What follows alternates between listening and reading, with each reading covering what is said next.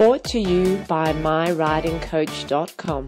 So now what we're going to do is, Maddie, you can actually start, just continue around and just trot over these rails on this little curve. So on a circle, we're just going to trot over these rails here on this little fan. Now with them when they're on a little angle like that, you can adjust it a little bit to what your horse is stride length is like. So if we're trying to collect the horse's stride, we can move into the inside a little so it's shorter. And if we're trying to lengthen the stride, we can go out a little bit. Maddie's just jumping in the middle there at the moment. And the horse is, yeah, lovely. And see how it elevates his trot. He bends his hocks a little more, elevates his trot a little more. And then you look and you think, oh, wouldn't it be nice if he trotted like that all the time, wouldn't it? So it's sort of helping him. Mind you, he's got quite a nice trot anyway and then he just elevates. Good, and he did a great job. He just stepped a bit bigger to go into it. Good, just wait there, Maddie, and I'll have a go. Yeah, it's a bit of, did that very well, Maddie, so now I've got to try to do that better. Let's see how I go. and what it does a little bit too, and what I find probably with this guy, I'm not going to do too much about making his mouth better or rounder or softer. I'm just going to feel the contact of his mouth and I'm just going to let these exercises get him to be a little bit more submissive. Not that he's too bad, like he's in a frame, he's round, he's leaning in a bit long.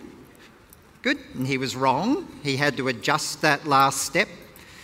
But before I went in, I thought he was sort of pulling the reins and leaning on my hand a little bit.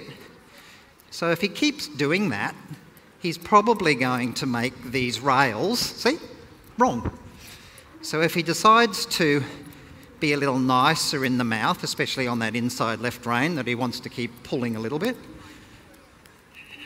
hopefully these rails, good. He backed up a little bit, got off my hand a little as he went through the rails. Still leaning on my hand a little there at the moment. Same again, I'll just see, there, he's come a little nicer.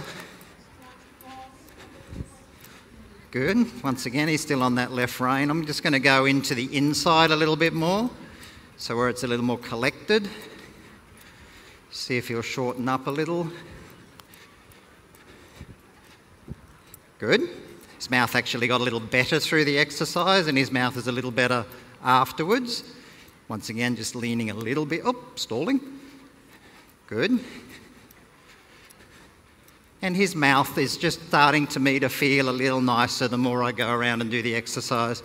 Maddie, you can just join in. We'll just do it on the other rein. Same thing. I'm not going to do too much about fixing him.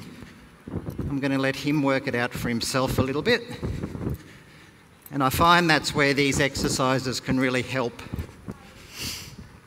And as we do these other exercises too, if he wants to be a little bit long and a bit leany, he'll find the exercises a little difficult. Good. It's getting a little nicer. Maddie's horse looks pretty good. His frame is quite nice. He doesn't look like he's getting a little low and leany at all. Actually, he looks quite nice in the frame. Good. Okay, so we'll just change those rails if we can. Brought to you by myridingcoach.com.